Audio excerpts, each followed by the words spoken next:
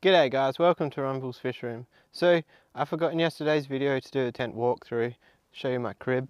Um, so we'll do that in the intro and then this video is actually going to be tomorrow, but the intro is going to show the Weber getting cranked up and then it's going to show the inside of that house. It's not a house, is it? Anyway, let's flip the camera around. Being an intro, we need to do this in one one cut. So we've got this cool knife, fork and spoon and they like fold into each other. Kind of forgot how much cool camping gear we've got. Uh, we went on a bit of a spending spree probably like four or five years ago. You reckon four or five years ago? Maybe longer. Um, so I've got a snake set up. If you haven't seen it, it's basically like three cubes wide and a and snaked around the outside. These things are 20 bucks. Um, last time we went camping, I did a rack of lamb. This time we're only doing lamb chops. But um, it should be just as good. I might stack them sort of like on each other, not separated. Don't know. I'll make that decision in like 35 seconds. Alright, so this thing goes on here. As you can see, I've only, I've hardly used this thing. Um, it's only for camping. Obviously, you guys know I've got the smoker at home. I don't want to admit it, but the lamb, the lamb I had in this thing, probably as good, if not better, than some of the smoked meat I've done. Probably better actually, but we won't admit that to anyone. Um, but yeah, you just pretty much chuck these in and obviously I'm going to stack them up a bit, two hands. Um, I generally try to keep the meat away from the snake, so like in a couple of hours when the snake comes around, I'll move the meat on the opposite side, you know, and then makes for a darty dinner. And you can go riding and you don't have to worry about the meat. Last time it was like picture perfect. We literally went riding for the day, came back, and it was just like the best thing I've ever put in my mouth. I put a few things in my mouth. Anyway, let's get stuck into the intro. And oh no, we've got to walk through. We've got to walk through, guys. Oh, that can wait. Make sure no bugs get my chops. All right, so it's a dark tent, which means we're not to be able to see shit. I've got a torch here actually.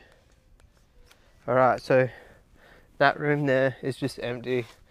Um, that's going to be Cooper's room in like 20 years. We've got the lights here. Probably not 20 years actually, probably like five, maybe even three.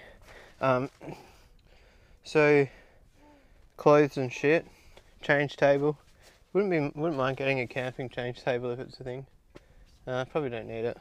Um, so Cooper's little um, that's actually a cot, it's not a playpen, but we're using it for both. That thing there will come in and sit here. We're going to keep this door open just for that peace of mind. Keep child close, you know. Um, that's our bed. Um, wouldn't put a baby in an air mattress. Apparently, real bad. The good thing about Cooper is he's not dependent on being in our bed. Um, it's that probably one of the things I'm most proud of about how being a first parent and not co-sleeping. I think pretty proud of that. Are you proud of that? Yeah. I think the fact well the we did co-sleep one night and um, I just didn't talk to Anne for like 24 hours and I think it kind of put her off co-sleeping. Um, I'm a hard ass, I know. The bed's not flat, so I, we put it that way. so I figured head down, probably laying it tonight. Figure if we want to change it around the other way. Um, this spot here, there's just nowhere flat. Um, but I think going uphill is better than going downhill. Um, there is a flatter spot on the other side of that tree, but it's got two big ant mounds on it, so can't park there. But anyway, that's that's uh, the tour. I've got the marquee, see, sitting on the back of the trailer there, but it's the weather's just that good it's not not necessary for this camping trip. Um, if it was raining, I'd bring it out. Um, I kind of want to figure out how I can connect that to the marquee, bit of tarp or something, so that way, if it rains, like we've got really good cover. Now we're gonna get stuck into the intro.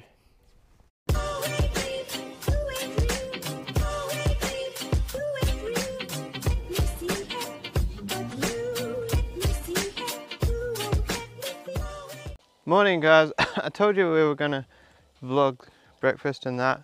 I kind of forgot. Um, Cooper had a bit of a rough night sleeping and obviously today's Mother's Day so I got up, it was kind of before the sun come up, it was like six o'clock and um, I lit the fire and hung out with Cooper and he just stared at the fire for like almost two hours. He was stoked and then I started making breakfast. I was trying to do mum where is she? I was trying to make mum breakfast in bed, but she got up before I finished it. Um, but that's alright, she still got breakfast as she got out of bed. Um,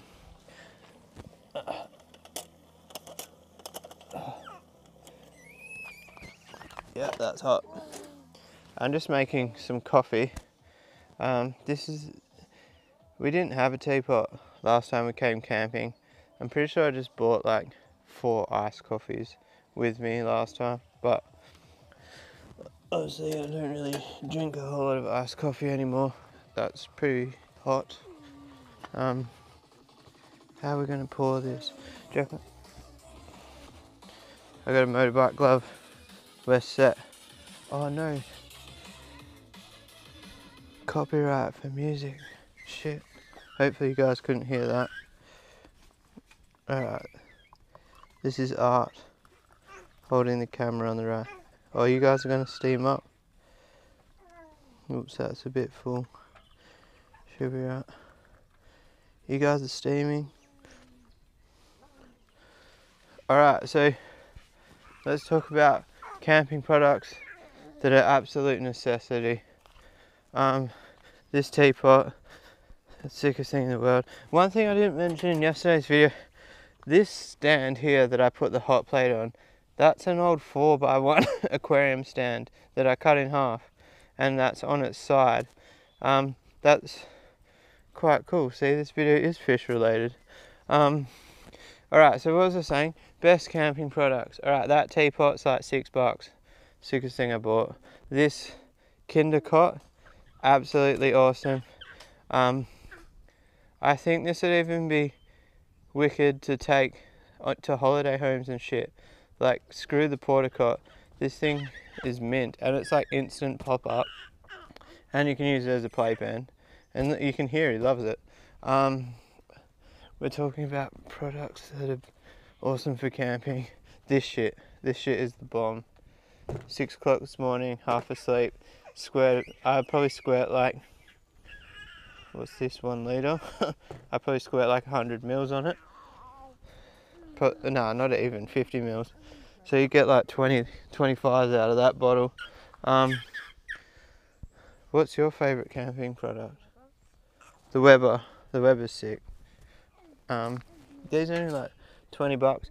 I got sausages in there for lunch. So the good thing about this, right, is we're going to have lunch and then we're going to dash. So um, if I cook on the fire with the hot plate for lunch, we can't dash after lunch. We're going to wait for that plate to cool down.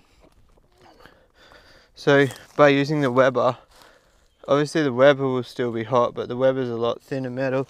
This thing here, oh, it's not too bad. It's been off for half an hour. Um, but yeah, I, I don't want that fire even embering when we leave. So I'm gonna get the rake out and rake that out, just rake the coal separate sort of thing. Um, the tent obviously is awesome, but that's not really a cheap product, so I really enjoy camping. Next time, uh, the only complaint that I have about what we have with us, next time, I'd prefer better spatula. It wasn't a big deal, just the eggs, I couldn't get them off the plate. Um, it did make do. Uh, the other thing is, I didn't really have anything to clean the barbie plate, but it sat on there for that long and heated up for that long. It's not like it's going to have germs on it. It's just got like the fire crud on it. I actually broke off some of this bag and like wiped all the ash off the top of it before I cooked. Alright guys, I'm packing up. It's um Still like two hours before we plan on leaving. I'm, I'm actually shattered. I've done about 80 k's on my bike. I, to be completely honest, I wasn't riding full pace, obviously. Um, I'm not going to go to town when I'm not with anyone. Um, I rode a lot of the tracks two or three times, just looping close to camp. I think the furthest I got from camp was probably like 10 k's. Um, the new GPS is wicked. Uh, but anyway, I'm thinking about, there's a reason I've started filming right now. I'm thinking about ditching the air mattress and getting a swag. The air mattress did a good job. It holds air. It deflated a tiny bit, maybe like 10%, but it's it's like not enough that I wasn't gonna get sleep, you know. Um, but yeah, I'm thinking about going a swag. I've never owned a swag, so hopefully some of you guys can comment on that. Uh, I know there's a few comments on yesterday's video talking about camping. I think, um, from what I can gather, there was a couple of recommendations, but I can't open the comments. I've been getting the notifications so I can read like the first few lines, but then um, after that, nothing. Ah, uh, so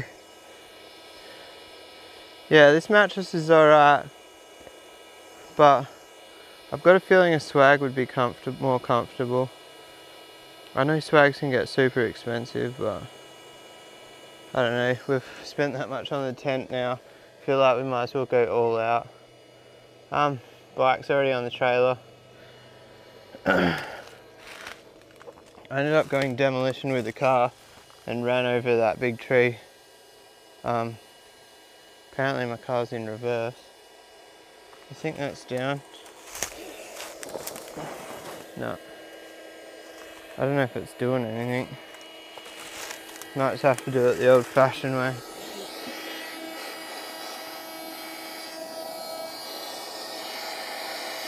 Yeah, there's no more air coming out of that.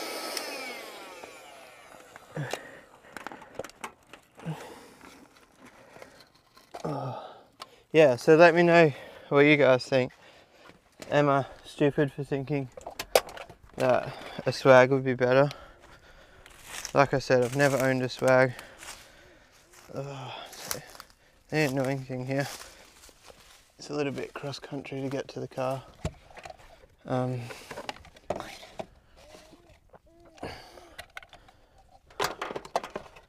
one thing, I, I don't know if I told you in the last video, but I stuffed up, I put the tent in the car and I put it at the back behind all the bedding and everything. So I had to get the bedding out to get the tent out. So